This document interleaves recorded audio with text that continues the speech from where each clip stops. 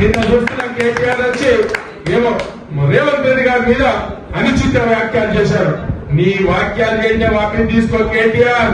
ఇక్కడ చూస్తుంటే మరి ఉద్యమంలో ఇక్కడ లేనే లేవు. ఉద్యమంలో అక్కడ పోయి అమెరికాలో బతికినావు.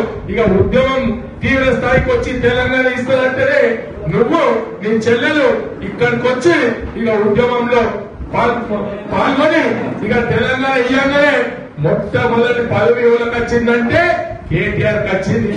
ఇక కవితకు వచ్చింది. ఓ ఎంపీ అయింది. ఎంపీకి ఓడగొట్టిండ్రు. ఓడగొడితే మళ్ళీ ఎమ్మడే మరి ఖాళీగా ఉండదు కదా. ఎందుకంటే వాళ్ళ కుటుంబ సభ్యులు ఖాళీగా ఉంటే మరి బాగుండాలని ఎమ్మెల్సీ పిలిచిండు ఆయన మాట్లాడుతుండ్రు ఇలా. మరి తెలంగాణ ఇచ్చినటువంటి కాంగ్రెస్ పార్టీ ముసలిం పార్టీ అంటారు ఆ రోజు పోయి కుటుంబ సభ్యులందరూ పోయి సోనియా గాంధీ తెలంగాణ ఇచ్చినందుకు జీవితాంతం మేము రుణపడి ఉంటామన్నారు రుణపట్టుకోకుండా ఇలా మాట్లాడుతున్నారంటే ఇలా సోనియమ్మ మరి ఆ టైంలో రెండు సార్లు ప్రధానమంత్రి అవకాశాలు వచ్చినా ఇలా మాకు అవసరం లేదు. మరి మన్మోహన్ సింగ్ గారికి చేసి ఈ దేశం బాగుండాలా?